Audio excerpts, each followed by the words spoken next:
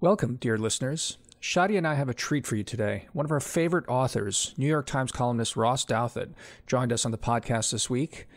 The proximate reason for his joining us is the recent release of the paperback edition of his excellent book, The Decadent Society. It was subtitled How We Became Victims of Our Own Success when it came out in hardcover last year, and has been resubtitled America Before and After the Pandemic. We started talking about what has changed in Ross's thinking between when the two editions were released, and we went from there in all different directions. We obviously went long and therefore split the episode in two. The first hour is for everyone, the second 30 minutes is for paying subscribers only. We really think you'll want to subscribe for this one if you haven't yet. Go to wisdomofcrowds.live slash subscribe and make it happen. We really hope you enjoyed this. Thanks for listening. There's there's there's two there's two trends actually happening here. One is the the Catholics trying to convert Shadi, and then the other one is Shadi trying to convert me to Islam. Those are the two. yes. well, I saw you. I didn't listen to the whole Sohrab thing, but I saw you got him to speak favorably of Islam. So yes, so that's I guess part of your pitch to Damir, and and yes. even as you're being pitched. No, we, we even got Sohrab to talk about Sharia. Uh, and um... Islamic Sharia, not Catholic Sharia. exactly. Yeah. Well, so Ross, I mean, um, well, we're very happy to have you. Um, uh, you guys will all know Ross Douthat. Um, his book, which is sort of the um, the pretext for us to have this conversation, but we'll talk about a bunch of different things the new paperback edition is out and it's updated. It's called The Decadent Society America Before and After the Pandemic. And I think what's really interesting is that the first version of the book came out last year, right before the pandemic. And so you used kind of the last year and everything that's happened to sort of um, maybe to, to reassess some of the things that you said or, or, um, and I, am curious, and maybe I'll just start by saying a few words about decadence because I was rereading the first chapter this morning, and I love the way that you describe decadence, which is um, so here, here are a couple quotes. Um, it hints at exhaustion, finality, but a finality that hasn't yet arrived. So why not eat, drink, and be merry in the meantime? You talk about the sense of an ending. You quote Barzun, who says, that uh, with decadence, there are no clear lines of advance. You're stuck in repetition and frustration.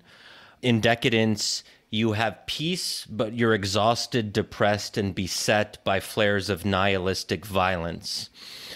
Decadence is characterized by a howl against a present that wasn't what was promised and uh, so on and so forth. I actually I also like the quote from G.K. Um, Chesterton where he says, there was nothing left that could conquer Rome, but there was also nothing left that could improve it. So that sort of maybe gives listeners a sense of what decadence is about. And I like in last year's version of the book, you have the hardcover. It's a really nice cover.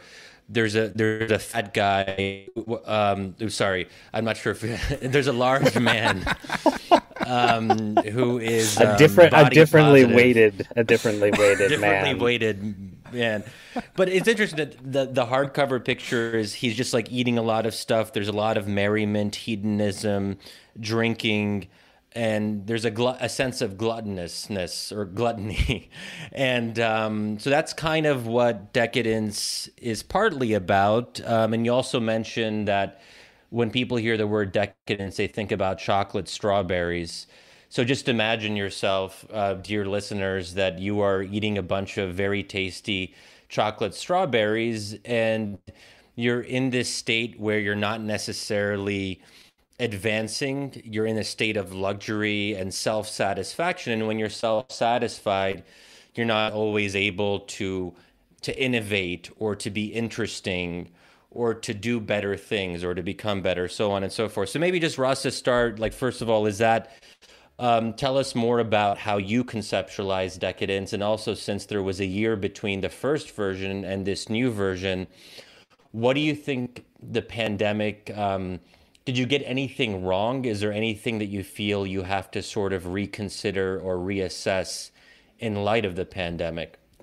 Yeah, so I'm still trying to figure out whether the book was spectacularly well timed or spectacularly ill timed by coming out literally like three weeks before the world shut down. And you know, obviously from the point of view of like a book tour and, and selling books, it wasn't it wasn't ideally timed. Um, in fact, I I probably picked up the coronavirus while flying back and forth across the country trying to sell a book about decadence. So I'm not sure what kind of what kind of lessons to draw to draw from that. Um, but yeah, I mean, basically, the book argues that despite sort of the sense of frenzy that has sort of you know that sort of fills discussions about our politics, especially during the presidency of Donald Trump. Despite that, actually, life in the United States and Western Europe, and to some extent East, East Asia as, as well, is characterized by this kind of stagnation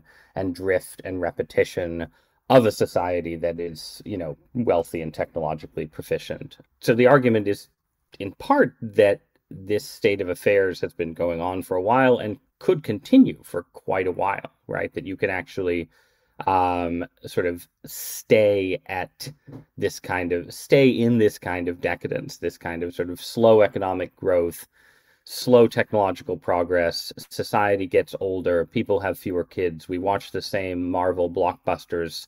Everyone keeps imagining that we're going back to the 1930s or the 19th century or you know some sort of grand ideological debate but really we're just sort of staging reenactments of the West's more interesting past. Um, so I, I, was arguing that that could go on for quite a while, and then of course, uh, you know, there's nothing decadent about a global pandemic, right? It's sort of you know capital H history happening all at once, um, and so in sort of the revisions, and they aren't dramatic revisions, but they are there that I made to the paperback. I tried to reckon a little bit with whether you know, whether this was a hinge moment, right? Is the pandemic the end of decadence? Did I write the book? You know, did I write the book describing a reality just as just as it was coming to an end?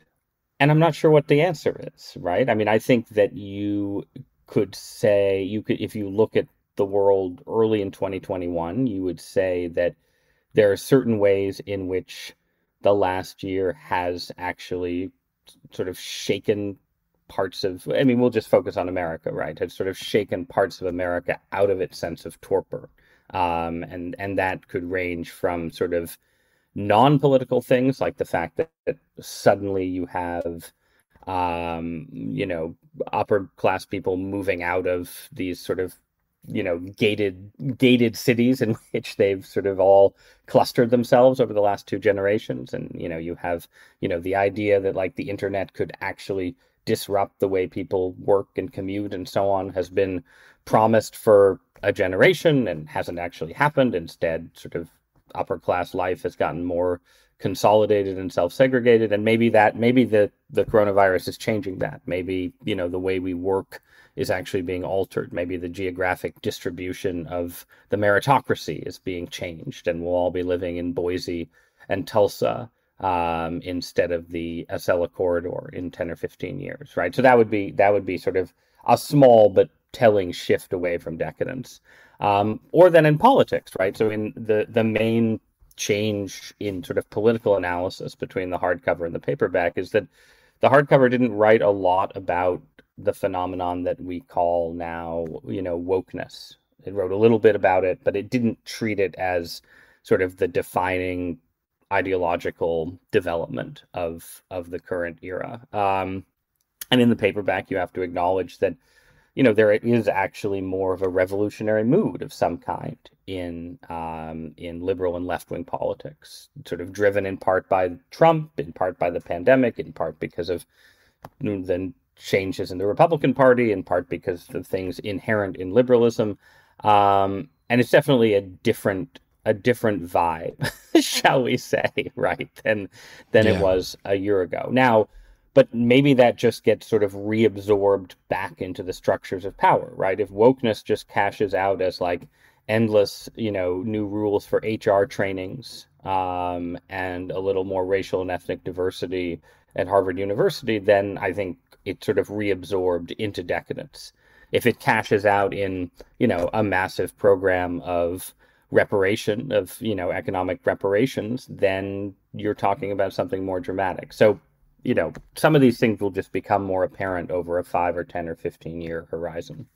But isn't it also fair to say that none of these are really grand ideas? I suppose i mean i don't think wokeness is necessarily a very robust worldview.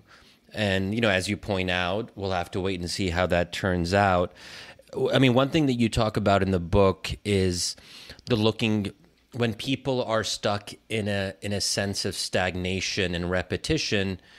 There is a possibility that they might look to the heavens. I think that's um, towards God, towards the stars, or both. And you talk about um, space travel and going to the moon as an example of a society that is able to look beyond itself and isn't st- isn't sort of treading water where it is. Is there anything quite like that now? I mean, I guess UFOs. You know, the UFOs, oh, man. Oh, yeah. right? So, so yeah, this is no, yeah. this is the part of my book that's you know looks looks much more prescient. Right? The book ends by saying, as you said, that sort of space travel and religious revival, sort of two different ways of looking at the heavens, seem like the most plausible ways that our era ends in something more than just you know stagnation eventually leaving leading to collapse. But i also mentioned the possibility that you know you we don't have to think of these just strictly in terms of human capacities right? If you are religious then you can imagine a, a revelation a sort of reaching down from on high that changes the history of the human race. Certainly muslims think that happened in you know in the 7th century ad christians think it happened um, in the reign of Caesar Augustus, right? So why shouldn't it happen in the presidency of Joe Biden? Or maybe what Providence has in mind is, you know, Star Trek First Contact and and those those lights in the sky are the end of decadence in a way that you know only uh, only viewers of the X Files had had imagined. Um, but presumably, it would only end decadence if these aliens and UFOs actually try to attack us, because that no. would force us to kind of get our act together. What What if they tried to to shape us? I mean, exactly. They don't have to be. It, it's not about you know. It's not the only meaning comes from a new you know world war with the aliens, right, Shadi? I mean, couldn't they? Couldn't there be some kind of I don't know outside greater force giving some kind of you know imparting some kind of meaning to all of this? Yeah, well, that's the revelation part. Yeah. That if if they are somehow, um... but you only think a war would do it for us? I think I think if the aliens, you know, are sort of commensurate to us in some respect, which you know we can we can say is pretty unlikely. But if they are sort of Star Wars or Star Trek style aliens, sort of versions of ourselves at a more advanced level of technology, um, then even that, even if they don't attack us, I think suffices to create just a completely new age in human affairs. If the aliens come down and say, "Hi, we've mastered faster than light travel. Um, would you like to partner with us?" You know, on the colonization of Ceti Alpha Prime. Um, that's that's a that's that's the end of decadence, I think. Um, and I, I want to stress that I'm not. I think this is, you know, still you know, a highly unlikely reading of the unexplained aerial phenomena that the Pentagon is interested in. Um, but it is there at the end of the Decadent Society as a possibility, and um, it's yeah, it's it's at least marginally more likely as a possibility than it was when I finished the book. What's really funny about that, Ross, actually, uh, is is uh, I you know I I in prepping for the interview, I, I hadn't read the book yet, and I read a bunch of reviews and, and you know your excerpts from it. I sat down last night, read through all of it, and I was sort of shooting shoddy notes as I'm doing it. And I said at some point, "Oh man, we got to talk about UFOs." Before I'd gotten to the part where you actually talk about UFOs, so it was really funny in that sense. You really did. it, it really is uh, um, well timed. Let me ask you one thing that that that's striking, um, and maybe this can get us talking about uh, something. I, I, I feel like the there's um it's not a necessarily a conflation, but it's it's it's maybe it's how you you you generally approach the question is by both talking about material progress, but really what's interesting to you is uh, is that kind of sense of I don't know uh, emotional dullness. I mean spiritual dullness. That that kind of uh, lack of of fulfillment, maybe in the individual, that that sort of sense of, of emptiness, maybe that that perhaps we all feel in this modern world. It really struck me, you know, uh, Shadi was quoting some earlier things. It's the the the uh, the Auden quote is that that really uh, jumped out for me. You know, again about the Roman Empire. It says it managed to last four centuries without creativity, warmth, or hope, and it's it's that that that's most driving you, right? Not so much the technological stuff, even though obviously, I mean, they're connected somehow, but it's it's the fact that that you're worried that we're unable to do these these human things, right, as a society. Yes, although I think that you know, if if I can sort of stand out my, outside my myself and try and analyze what makes my own work distinctive, I think it's the attempt to combine that that concern with an analysis of sort of technological change and technological slowdown or a shift from you know what I call technologies of exploration to technologies of simulation, which I think is sort of the key the key shift of the last 40 or 50 years and one that has in its own way changed the culture substantially. Um, so you know, I mean, I know you guys had uh, my friend Sohrab Ahmari on um, in in a prior podcast, right? And you know, in certain ways, he and I belong to you know, I mean, we belong to the same religious tradition. Um, is more of a pugilist, and I'm I'm more of a sort of ironical observer.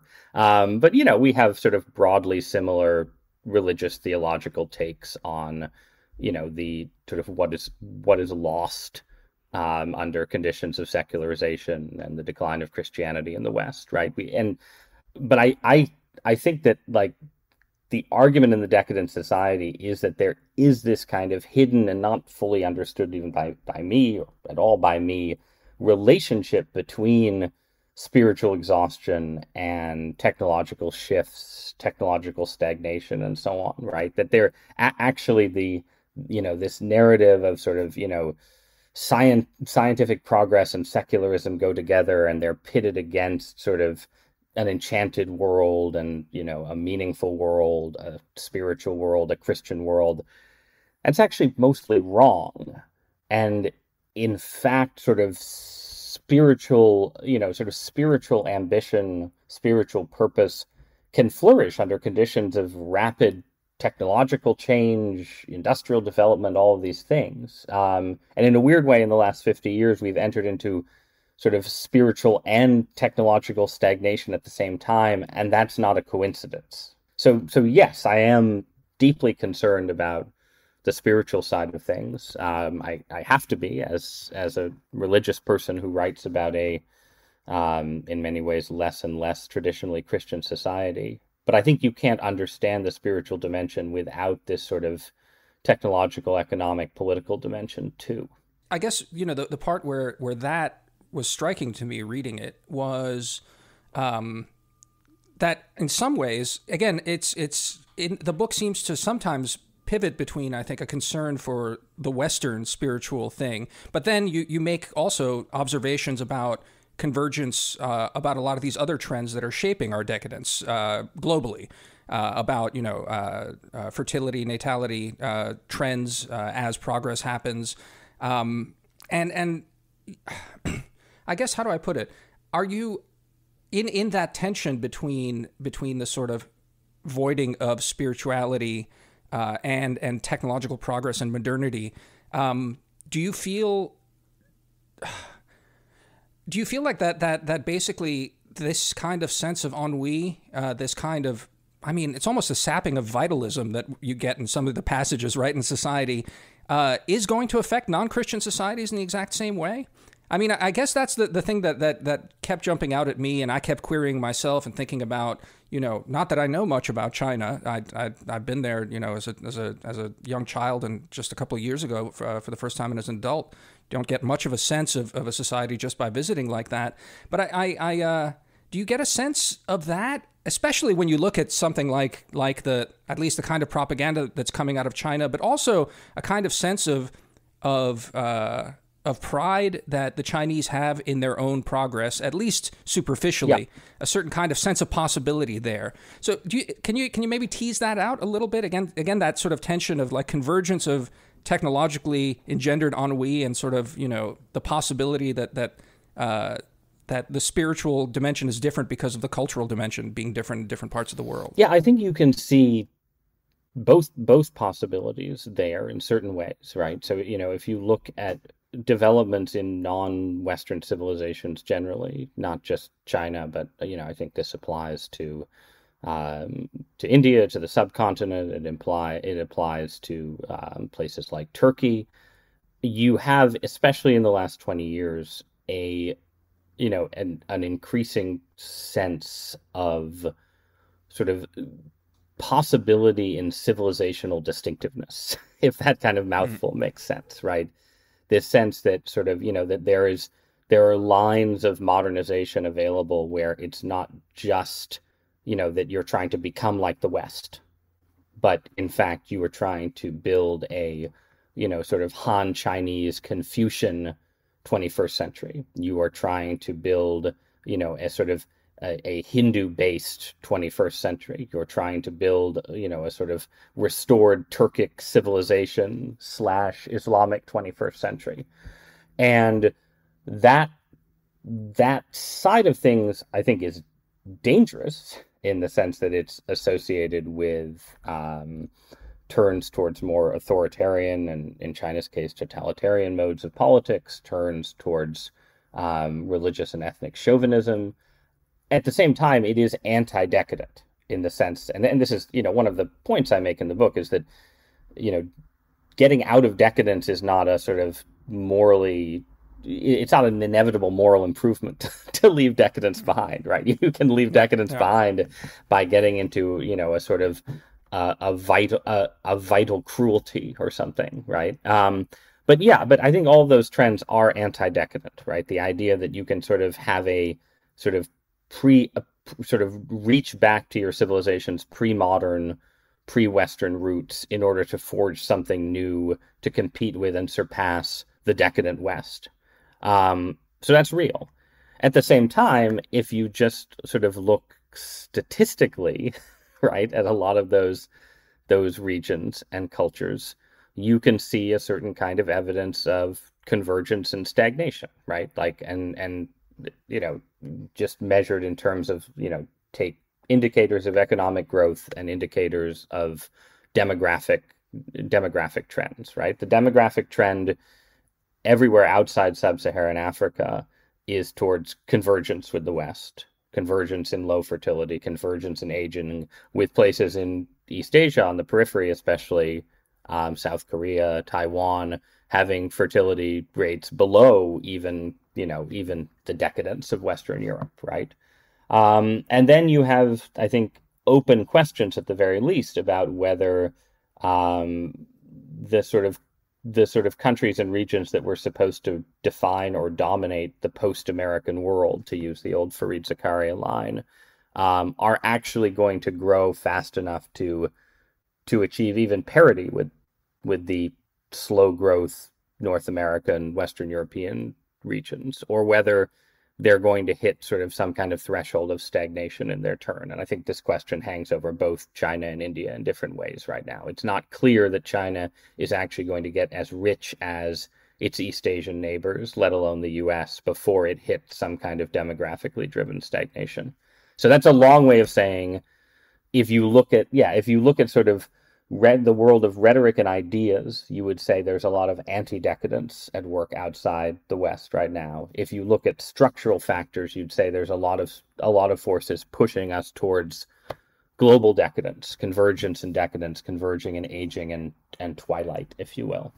So, th- so this is why I'm a little bit torn because part of me you know, I'm similar to you, Ross, in that I'm I'm a liberal who's critical of liberalism. I don't know if you'd you're maybe a post. I'm not sure how you do self-describe a post-liberal or a questioning liberal. I I mean I I I think I think conservative sense. is fine. I think it's it's fine. to, you know, we we we we get into these we get into these debates, but fundamentally, I'm I think I'm still a I'm a conservative with yeah, I, I'm a I'm I'm a conservative. Let's leave it at that. yeah, yeah. Well, yeah. To be clear to everyone, I, am talking. Yeah, I'm talking about cl- classical liberalism. I wouldn't ever want to suggest that Ross is like shifting to the left. So I'm not a class. Right, I'm definitely not a classical liberal. No, that's that's yes, definitely true. I'm I'm I'm sort of post-liberal curious. Um, oh, that's but good. I, but I, like I have that, a lot of I have a lot of skepticism about the coherence of of post-liberal politics at the moment. Okay. Yeah, so I'm post liberal curious too, Good. but also I still think so, but okay, but here's here's the reason that I'm torn. I mean, part of me part of me sees all the weaknesses of this decadent society and that spiritual emptiness I think is is a profound problem because ultimately it affects individual happiness and individual fulfillment.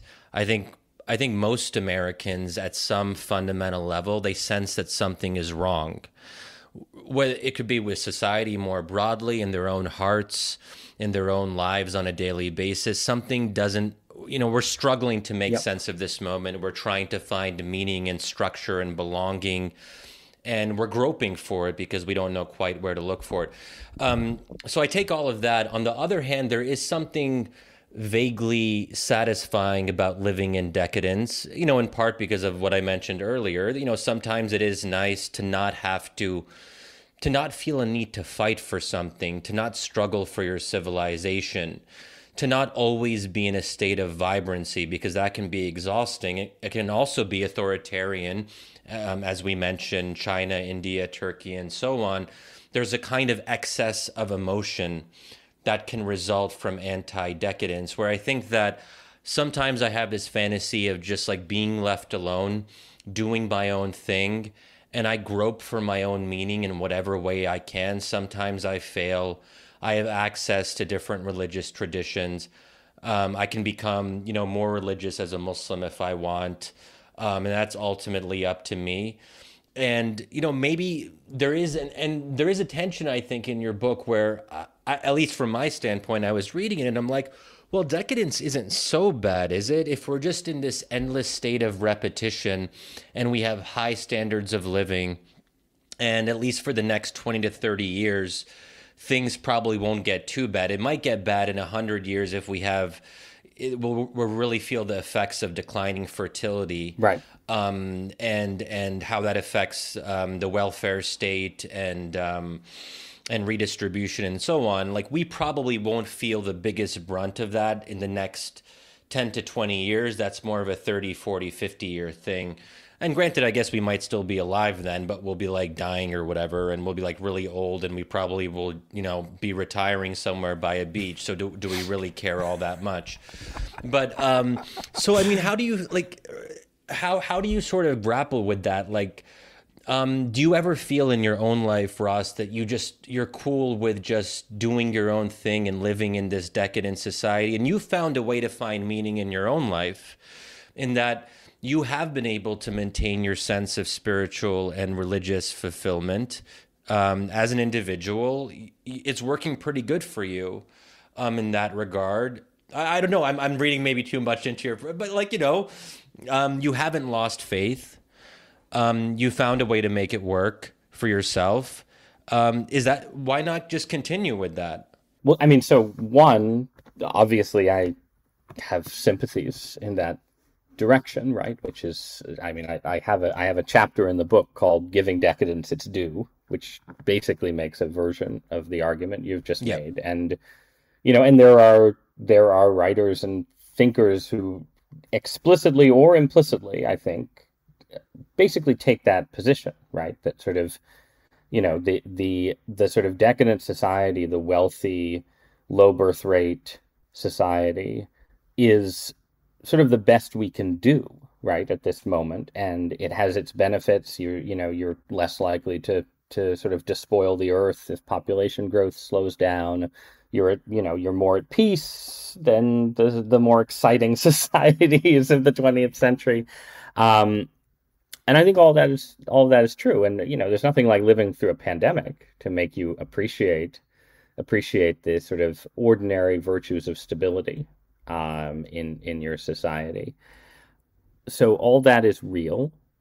At the same time, the danger of living with decadence is that you are sort of you know inch by inch and day by day uh, sort of normalizing dystopian tendencies right and so the dystopia that sort of hangs over our own society right now is mostly Aldous Huxley's Brave New World, right? The the the world where sort of the most important human goods have disappeared and nobody even realizes that they need to miss them because they have perfectly calibrated drugs and virtual reality and pornographic entertainment to effectively um, to effectively take the place of you know religion humane pursuits, marriage, love, family, all, all of the rest of it, right? Um, and the nature of dystopia is that you don't actually get there. We're not actually going to get to that destination, but you can go more steps along that path. And I think we have pretty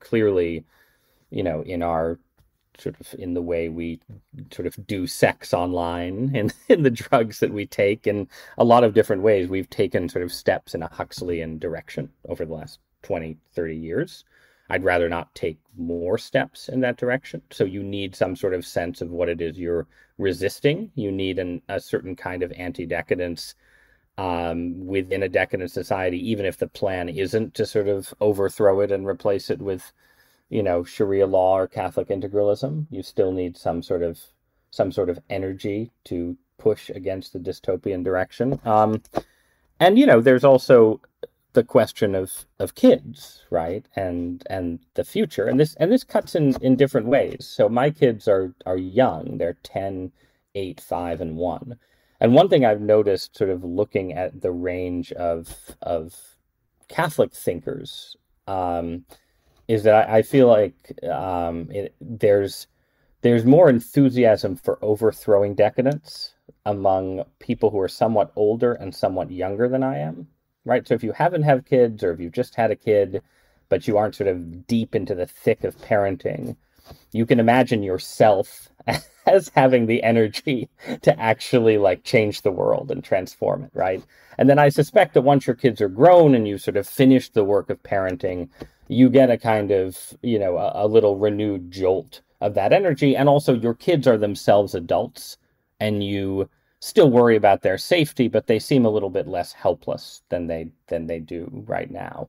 But I, I do hmm. find with kids who are who are little that I you end up placing a higher premium on the stability of your society. So I'm less anti-decadent in that way because I'm like, well, I don't want, you know, I, I don't want the, the revolution to come because I have to take care of an eight year old. I have to change a, you know, change a one year old's diaper, right? But you also have those kids as like hostages to the future. And you think more hmm. about you know what you were describing right? The world in in 50 years. Okay i will be you know either have passed to my reward or be you know hanging on with some sort of life extension technology to keep me alive right? But my children will be my age or a tiny bit older and presumably god willing they'll have children of their own. And that those extensions of myself it will matter tremendously um, what's happening in society then. So, so it, it yeah, it, there's there's just pulls and there, there's pulls in multiple directions, right? Like like you don't. I want yeah. stability for the sake of my children at the moment, but I don't want sort of too much decadence because I want them to be able to have fulfilling lives in you know in 40 or 50 years right yeah and so what what role would you say national pride plays in either um, in in reviving a civilization or um, being anti-decadent because I think one part of the bigger story. I mean, we've talked a bit about spirituality and religion and fertility rates, which is I think one dimension. One other resource that we have as Americans that most other advanced societies don't have is a particular con- ideological conception of the state and America's mission, which generally has been something we could draw on to kind of fuel us a little bit. Like where so in, in contrast, you know, whether it's Germany, Sweden, Denmark, those are countries that I think are more likely to be stuck in a perpetual decadence insofar as they have no animating mission. They no longer have religion uh, almost at all and they don't have a strong sense of nas- uh, of universalist mission, let's say. I mean, obviously there is the rise of ethno nationalism, which is a little bit different. Um, and I was just actually uh, looking back at uh, not the Gallup poll that all of us talked about that came out about the decline of Christianity, which Ross you've written qu- quite a bit about, but the one that came out last year where um, on national pride. And I, whenever I look at this, I'm always reminded of how stark it is that um, only, I think it's only 23% of Democrats in 2020 said they were extremely proud to be American, where the number for Republicans was 67%. It's the largest partisan divide in the history of the Gallup poll when it comes to feelings of national pride. But when you have our meritocratic elite who dominate most cultural media and intellectual institutions in this country, if a majority of them can't summon sufficient pride in their own country, I think that is is another part of this story. And that's not even really decadence. That might even be like a reversal of that might even be something else. We need a different term for that because my understanding is that there's never been a successful advanced pro- progressing society that has you know basically lost faith in its own sense of being in this regard where elites just i don't want to say self-hatred but a certain kind of ambivalence about what they themselves have helped create so i'm, I'm curious like how much how much does that specific part of it worry you because if we no longer if we're losing religion, especially um, the you know liberal elites in the U in the U.S., but we're also losing our sense of national pride. It, it there's a real vacuum there that that goes beyond the question of decadence or the, or or um, or anti decadence. I think.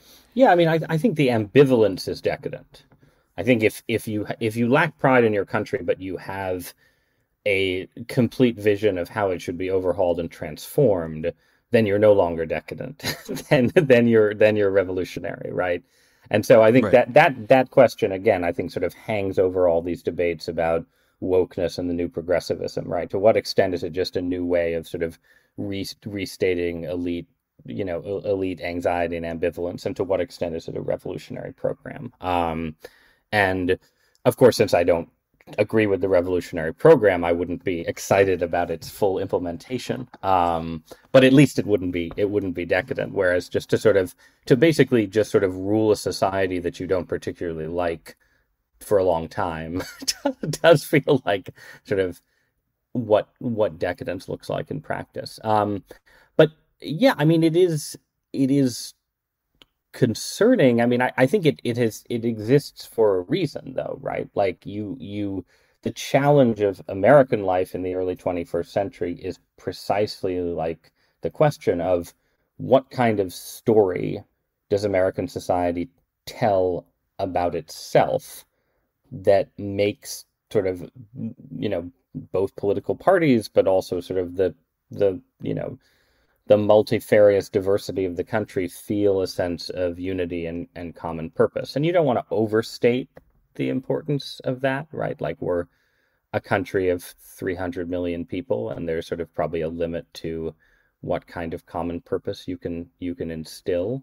Um, but but I do think there is a there's a failure of American narrative right now where the right has a narrative it's the older narrative. It's a narrative that was sort of solidified, that was sort of established in the late 19th and early 20th century and solidified after World War II and sort of incorporated part of the civil rights movement, um, but maybe not, maybe not fully. Um, but it's it's a narrative that that isn't inclusive enough to sort of be sustaining in a you know more diverse society with legitimate claims being made on the American past by people, Black Americans above all, maybe, who were sort of deliberately excluded from from that older narrative. So the conservative narrative right now can't seem to stretch to be more than a like 40 or 50% of American narrative. But then the liberal narrative is highly, you know, it's it's it doesn't it can't decide if where to find actual pride, right, in the history of the country. And there is still a liberalism, which is the liberalism that I grew up with and was educated by, that sort of culminated in the election of Barack Obama and then sort of fell apart under various pressures, that has some kind of pride, right? This sense of sort of America as something that is a set of ideals that is constantly coming into being and being pursued and that we get closer and closer to without ever fully fulfilling, where you have this sort of link between the imperfect but but also heroic figures of the founding and the imperfect but more heroic figures of the Civil War era, you know, linking to Martin Luther King and 60s and 60s the 60s civil rights era. That narrative is there, but it's weakened for various reasons. It's weakened because it's sort of failed as a practical matter to fulfill certain promises around racial equality, I think. It's weakened in part because of secularization, that the, the narrative depends for its coherence on probably some kind of Protestant Christianity that liberals don't believe in anymore. And that, you know, like if you go back and read Lincoln and Martin Luther King, these guys are like doing theology, right?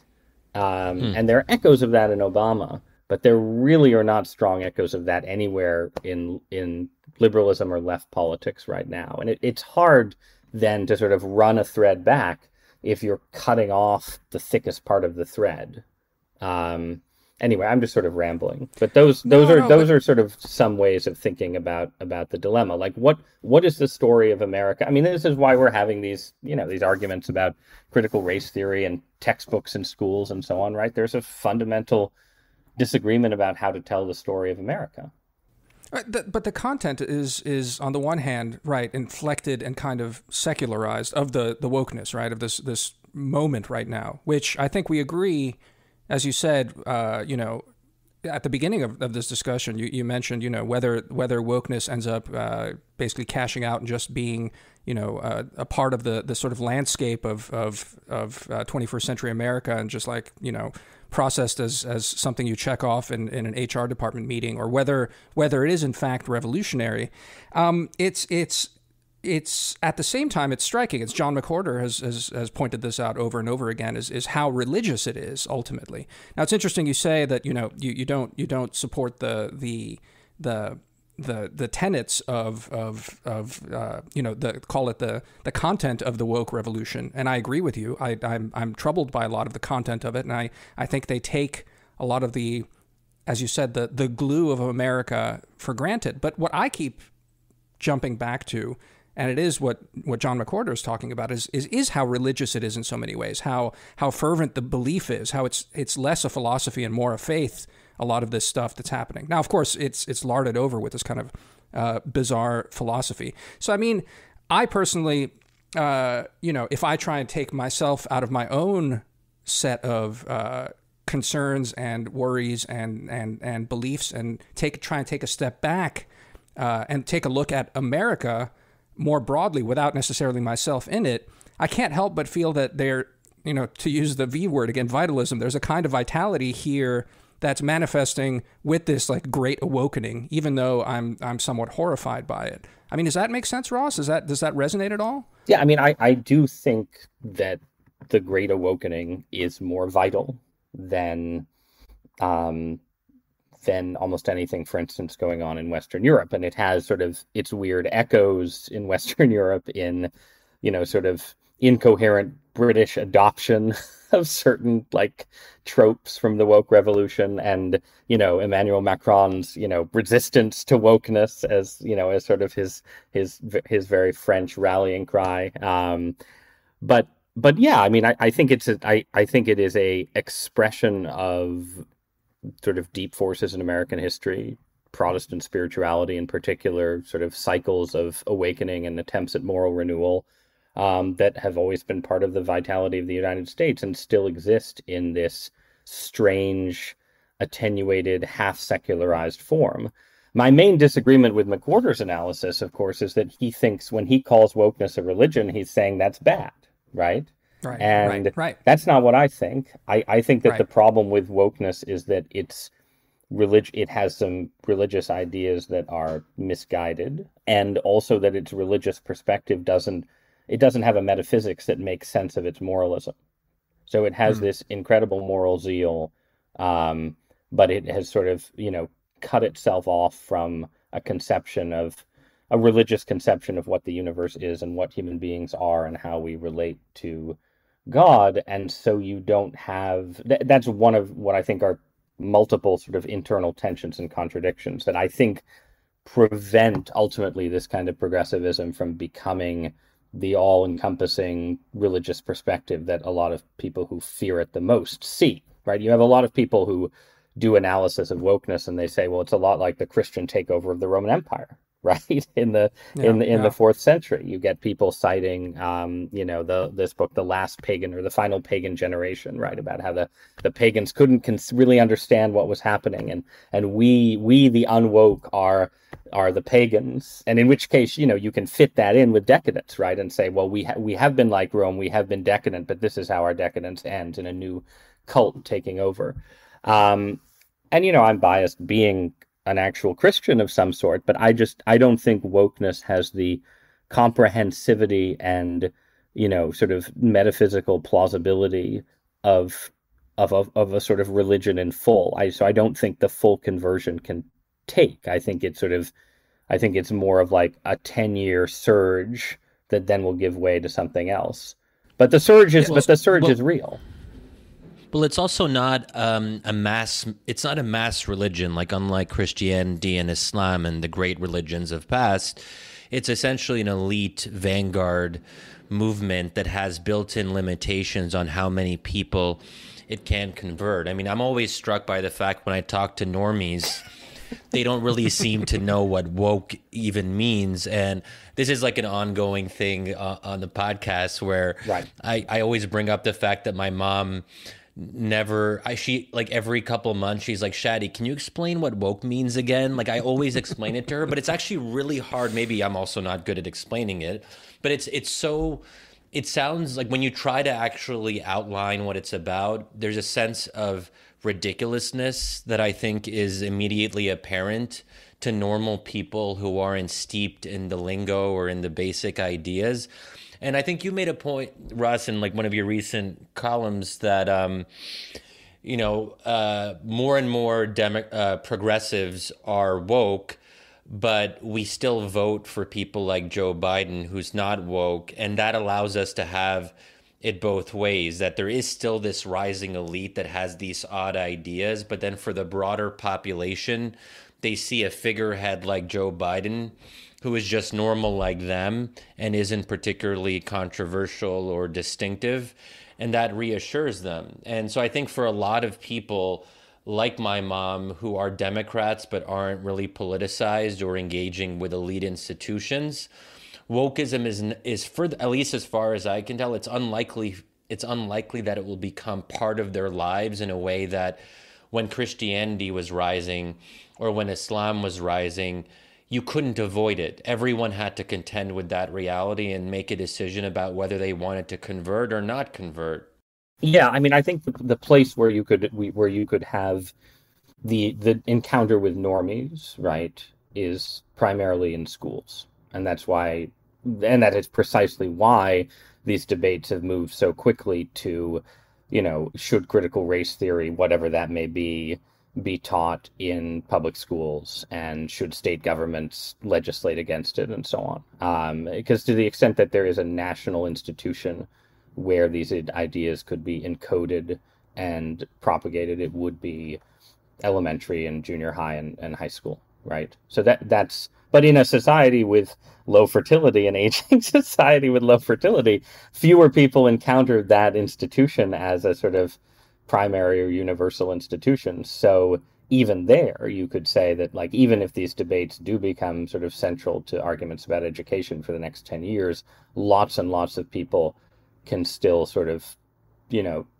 tune them out. And there's also, but then there's also sort of the question, right? So, like, to what extent does does something like popular culture get remade by these ideas? So right now, you know if you if i go if i go into you know disney plus um, and look at old Disney movies. You'll you'll you know you'll turn one on. You'll turn on Peter Pan, which has you know some egregious stereotypes of Native Americans, shall we say, right? And you'll get a content warning, um, or even like I think the Swiss Family Robinson, one of my kids' favorite movies for a while, has a content warning because it has you know sinister Southeast Asian pirates, right? Who who attack the extremely Nordic um, or nor you know I guess they're Swiss, so you know the the extremely European, the extremely white family at the center of the story. So you have these content warnings, right? So like that seems like a really sustainable equilibrium where basically the you know the elites feel compelled by sort of the new quasi religion to you know sort of put these warnings on have these trigger warnings and so on around problematic works of pop culture.